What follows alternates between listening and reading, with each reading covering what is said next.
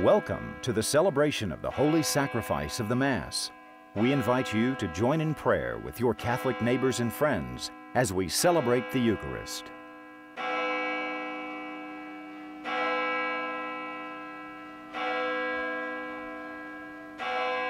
In the name of the Father, the Son, and the Holy Spirit, amen. Peace be with you. My brothers and sisters, as we gather together to celebrate these sacred mysteries, let us take a moment, first of all, to call to mind our sins and ask the Lord's forgiveness.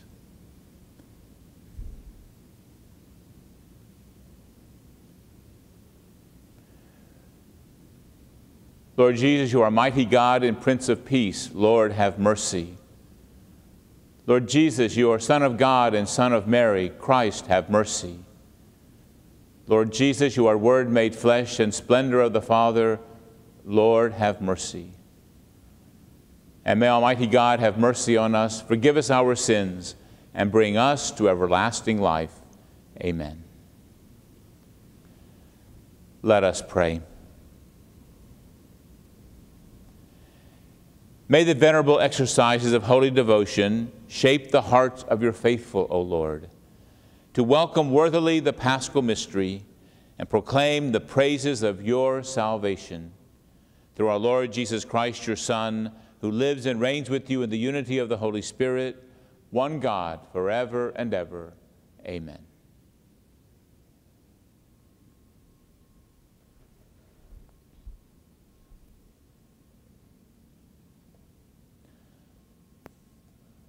A reading from the book of the prophet Ezekiel. The angel brought me, Ezekiel, back to the entrance of the temple of the Lord, and I saw water flowing out from beneath the threshold of the temple toward the east. For the facade of the temple was toward the east, and the water flowed down from the right side of the temple south of the altar. He led me outside by the north gate and around to the outer gate facing the east, where I saw water trickling from the right side. Then, when he had walked off to the east, with a measuring rod in his hand, he measured off a thousand cubits and had me wade through the water, which was ankle deep. He measured off another thousand, and once more he made me wade, wade through the water, which was now knee deep. Again, he measured off a thousand and had me wade. The water was now up to my waist. Once more, he measured off a thousand. But there was now a river through which I could not wade, for the water had risen so high it had become a river that could not be crossed except by swimming. He asked me, Have you seen this, Son of Man? Then he brought me to the bank of the river where he had me sit. Along the bank of the river, I saw very many trees on both sides. He said to me, This water flows into the eastern district down upon the Arabah and empties into the sea the salt waters which it makes fresh. Wherever the river flows, every sort of living creature can, that can multiply shall live, and there shall be an abundance of fish. For wherever this water comes to the sea shall be made fresh. Along both banks of the river, fruit trees of every kind shall grow. Their leaves shall not fade, nor their fruit fail. Every month they shall bear fresh fruit, for they shall be watered by the flow from the sanctuary. Their fruit shall serve for food, and their leaves for medicine. The word of the Lord. Thanks be to God our response. The Lord of hosts is with us. Our stronghold is the God of Jacob. God is our refuge and our strength, an ever present help in distress. Therefore we fear not, though the earth be shaken, and the mountains plunge into the depths of the sea. The Lord of hosts is with us. Our stronghold is the God of Jacob. There is a stream whose runlets gladden the city of God, the holy dwelling of the Most High. God is in its midst it shall not be disturbed. God will help it at the break of dawn. The Lord of hosts is with us. Our stronghold is the God of Jacob. The Lord of hosts is with us. Our stronghold is the God of Jacob. Come, behold the deeds of the Lord, the astounding things he has wrought on earth. The Lord is with us. Our stronghold is the God of Jacob. Glory and praise to you, Lord Jesus Christ. A clean heart create for me, O God. Give me back the joy of your salvation. Glory and praise to you, Lord Jesus Christ. The Lord be with you. A reading from the Holy Gospel according to John. Glory to you, Lord. There was a feast of the Jews, and Jesus went up to Jerusalem. Now, there is in Jerusalem at the sheep gate a pool called in Hebrew Bethsaida, with five porticos. In these lay a large number of ill, blind, lame, and crippled. One man was there who had been ill for 38 years.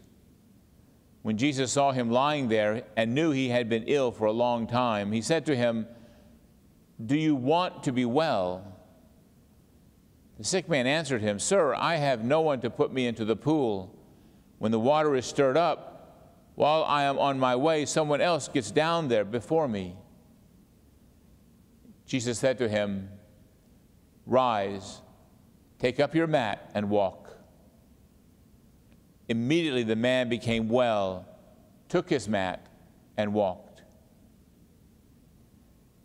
Now that day was a Sabbath, so the Jews said to the man who was cured, It is the Sabbath, and it is not lawful for you to carry your mat. He answered them, The man who made me well told me, Take up your mat and walk. They asked him, Who is the man who told you, Take it up and walk? The man who healed, who was healed, did not know who he was, for Jesus had slipped away since there was a crowd there. After this, Jesus found him in the temple area and said to him, Look, you are well. Do not sin anymore, so that nothing worse may happen to you. The man went and told the Jews that Jesus was the one who made him well. Therefore, the Jews began to persecute Jesus because he did this on the Sabbath. The gospel of the Lord. And praise to you, Lord Jesus Christ.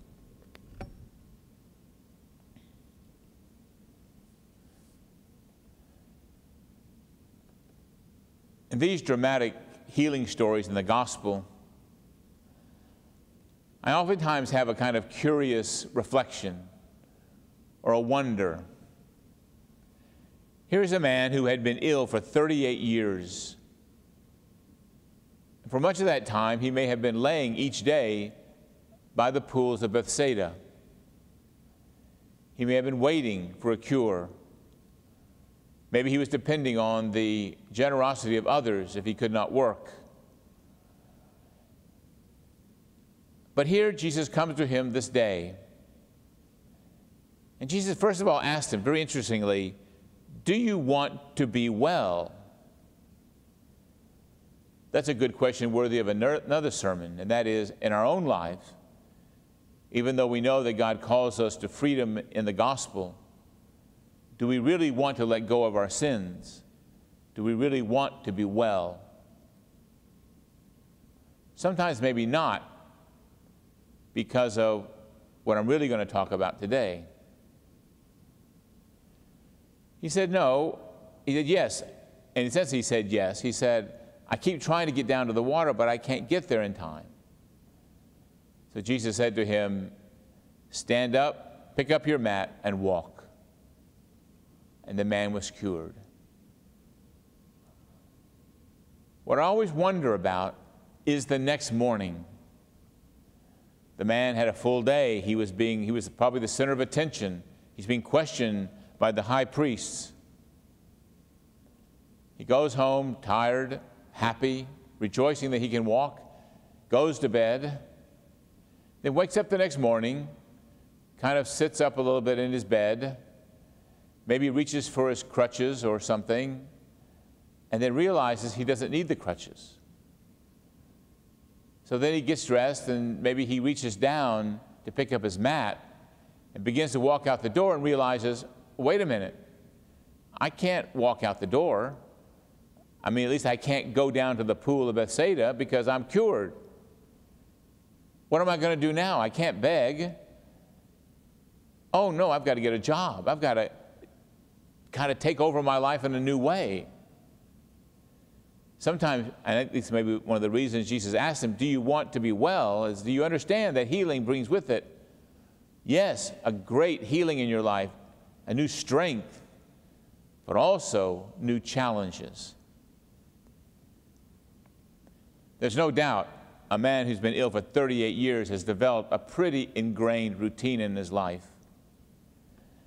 Well, that speaks to us a lot today because for many of us, our routines are being blown up in so many ways, so many aspects, and we find ourselves kind of lost. Now, oftentimes we use the word routine in a bad way, but routines can also be good for us. They're the way we structure our lives around our values. They're the way we live out our values and, and kind of hold ourselves to commitments or are held to our commitments because of the necessary routine. A husband and wife's love their children are oftentimes, they're bound to that because the children need their attention and help and support. They need their guidance. And if, even though they might want to take a break one day, they're on 24 7. It's a regular routine, and so they shape that routine around the needs of the children and also around their own needs. And part of the routine is that many, for many of them, the kids go off to school and ah, take a breath now. Routines at work help us keep order in our lives and help us perform the job we're called to do. Sometimes our routines are developed to help support the best of who we are. We have routines that help us keep from becoming engaged in maybe too much drinking or too much gossip. We have routines in our life that we put in prayer, reflection, to build up our soul and strengthen us. In fact, Lent is all about kind of tweaking those routines to help them better support what it means to be a disciple who believes in the gospel of Jesus Christ. We also can have bad routines, routines that support our sins, routines around gambling, drinking. Maybe it's routine for us to get on the phone and call and gossip each day because it supports some type of a, a need in us to build ourselves up. Maybe anger at someone or unforgiveness in our family has created a routine disconnect with someone. So routines can be good and they can be bad. But there's no doubt that now they've all been blown up. And so we need to take some time to reflect on the new reality we're experiencing now so we can capture the good routines in a new way. The routines that were meant to support the goodness, the virtue, the value, the, the demands of love of our life that we want to be faithful to. Help your children develop a new routine in their life as well.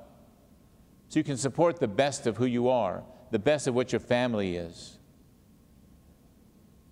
Also, be sure that you are developing supports to help you from falling into bad routines or even going to those as the primary routine of your life. That would be a terrible thing to consider that all you have to do is binge watch TV for the next three, four, five weeks, and that'll get you through.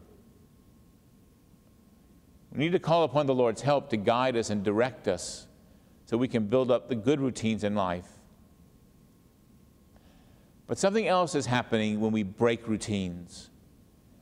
Break routines. In fact, that's what we do when we go on retreat. We step out of our routine life into a new routine where we're given spaces to reflect upon who we are, where we're going, what is our relationship with God. As our routines get broken, and we'll cast into moments of insecurity and doubt about the future, and These are moments when God can speak to us too. Make sure that one of the routines you place into your life in this very turbulent time is some time for prayer, reflection, to examine the feelings of your heart, the dread, the fear, the concerns, to remind yourself that the Lord is with you, remind you you have loved ones around you, remind you there are good things in the world and good things still in your life.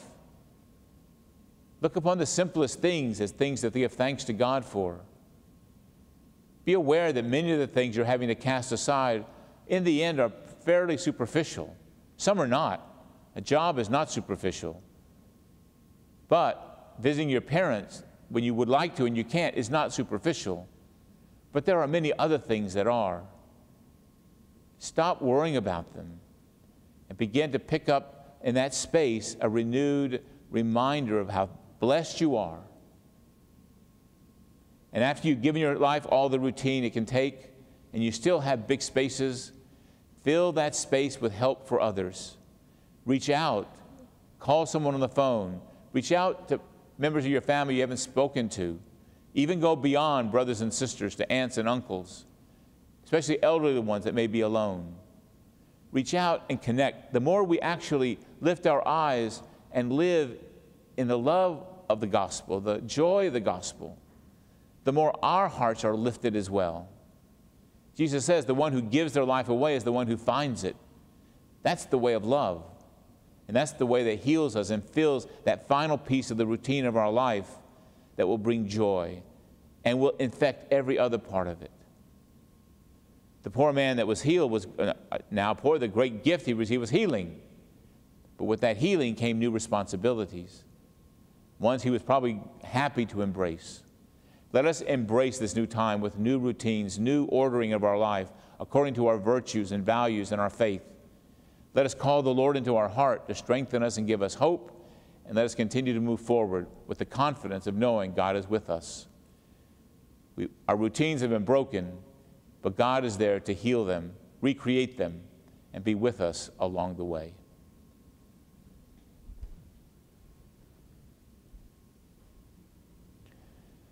Let us now join our prayers together, trusting in God's mercy and love. We pray for our Holy Father, Pope Francis, that he might continue to be a voice to all the world, calling us to prayer and hope in this time of need. We pray to the Lord. Lord, hear our prayer. We pray for all of our caregivers and first responders who continue to work among us for our good, that God may protect them and keep them healthy. We pray to the Lord. Lord, hear our prayer. We pray for our leaders, for our governor, our president, for all those who are involved in the national effort and international efforts, that they be given wisdom and selflessness in this pursuit. We pray to the Lord. Lord, hear our prayer. That for those of us that wish today, our governor has called us, he himself is going to make this a day of fasting and prayer, that we take some time today to fast and pray and that we might ask God's mercy and love upon us and his divine assistance. We pray to the Lord. Lord, hear our prayer. We pray for our loved ones who have died, that God will bless them with eternal life, and that their prayers before your throne might also sustain us in this time of need. We pray to the Lord. Lord, hear our prayer. Loving God, hear these prayers we place before you we pray them with confidence through your Son, Jesus Christ, who lives and reigns forever and ever. Amen. Blessed are you, Lord God of all creation, for through your goodness we have received the bread we offer you, fruit of the earth and work of human hands. It will become for us the bread of life. Blessed be God forever.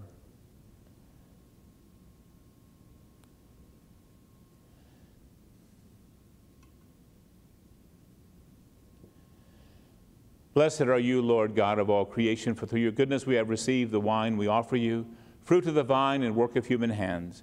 It will become for us our spiritual drink. Blessed be God forever. Lord, wash away my iniquities and cleanse me from my sins.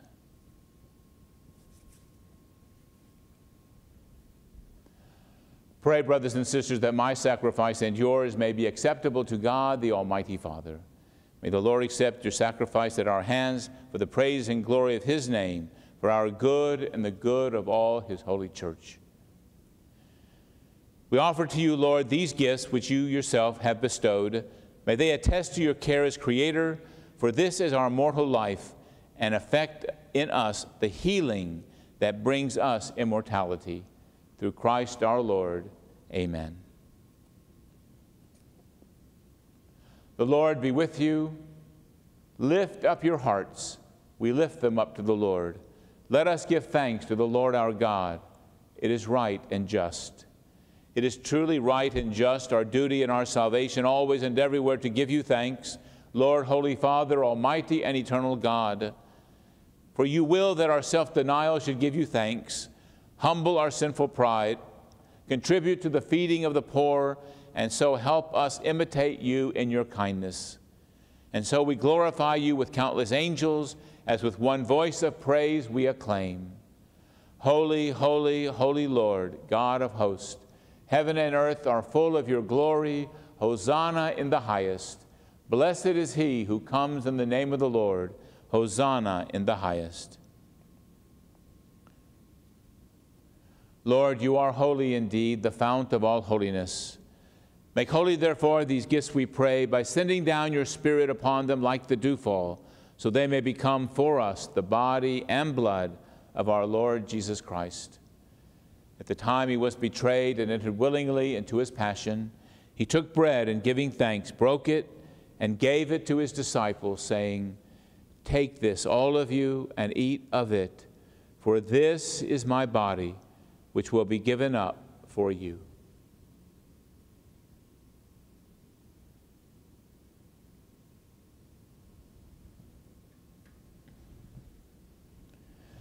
In a similar way, when supper was ended, he took the chalice and once more giving thanks, he gave it to his disciples, saying, Take this, all of you, and drink from it, for this is the chalice of my blood, the blood of the new and eternal covenant, which will be poured out for you and for many for the forgiveness of sins.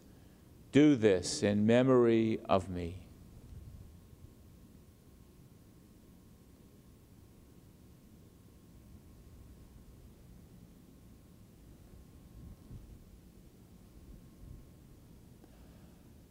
The mystery of faith. We proclaim your death, O Lord, and profess your resurrection until you come again. Therefore, as we celebrate the memorial of his death and resurrection, we offer you, Lord, the bread of life, the chalice of salvation, giving thanks that you have held us worthy to be in your presence and minister to you. Humbly we pray that partaking of the body and blood of Christ, we may be gathered into one by the Holy Spirit. Remember, Lord, your church spread throughout the world and bring her to the fullness of charity, together with Francis, our Pope, me, your unworthy servant, and all the clergy. Remember, your, remember also our brothers and sisters who have fallen asleep in the hope of the resurrection, and all who have died in your mercy. Welcome them into the light of your face. Have mercy on us all, we pray, that with the Blessed Virgin Mary, Mother of God, with blessed Joseph, her spouse, with the blessed apostles and all the saints who have pleased you throughout the ages, we may merit to be co heirs to eternal life and may praise and glorify you through your Son, Jesus Christ. Through him and with him and in him, O God, Almighty Father, in the unity of the Holy Spirit, all glory and honor is yours forever and ever. Amen. At the Savior's command, informed by divine teaching, we dare to say, Our Father, who art in heaven, hallowed be thy name. Thy kingdom come, thy will be done, on earth as it is in heaven. Give us this day our daily bread, and forgive us our trespasses, as we forgive those who trespass against us. And lead us not into temptation, but deliver us from evil. Deliver us, Lord, we pray, from every evil graciously grant peace in our days, that by the help of your mercy we may be always free from sin and safe from all distress, as we await the blessed hope and the coming of our Savior, Jesus Christ. For the kingdom, the power, and the glory are yours now and forever. Lord Jesus Christ, who said to your apostles, Peace I leave you, my peace I give you. Look not on our sins, but on the faith of your church, and graciously grant her peace and unity in accordance with your will, who live and reign forever and ever. Amen. The peace of the Lord be with you always. Let us now offer, if you're with someone, a sign of peace.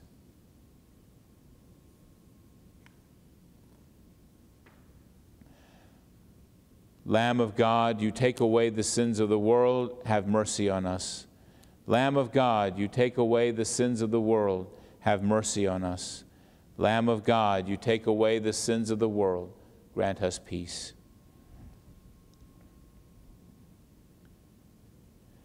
May the receiving of the body and blood of the Lord Jesus Christ, both here and spiritually, not bring me to judgment and condemnation but through your loving mercy, be for me protection in mind and body and a healing remedy.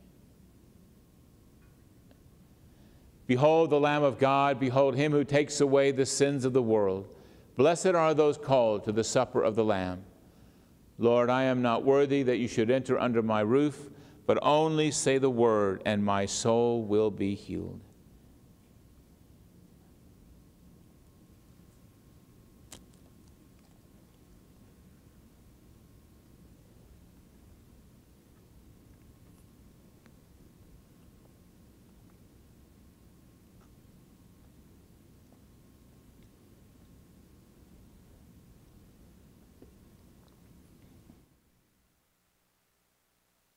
Persons who are unable to receive the Eucharist are urged to unite themselves spiritually with Christ's sacrifice.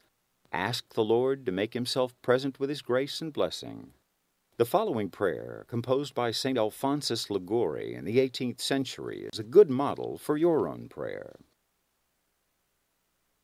O oh, my Jesus, I believe that you are present in the most blessed sacrament. I love you above all things, and I desire to receive you into my soul. Since I cannot now receive you sacramentally, come at least spiritually into my heart. I embrace you as if you have already come, and unite myself wholly to you. Never permit me to be separated from you. Amen. Bow down now for the blessing. Grant, O merciful God, that your people may remain always devoted to you and may constantly receive from your kindness whatever is for their good. Sustain them in this time of need, give them hope, and may they come together as one family, supporting one another, knowing that you are always in our midst. We pray this through Christ our Lord. Amen. The Lord be with you, and may Almighty God bless you in the name of the Father, the Son, and the Holy Spirit. Amen. Our Mass is ended. Go in the hope of the Lord. Thanks be to God.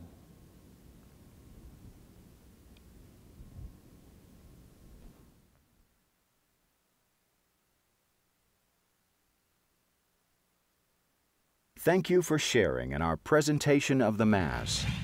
The Mass is brought to you as a service of Catholic Life Television, a ministry of the Diocese of Baton Rouge. Your participation, your prayers, and your support make this ministry possible. We'd like to hear from you. Please write us at Catholic Life Television, Post Office Box 3015, Baton Rouge, Louisiana 70821.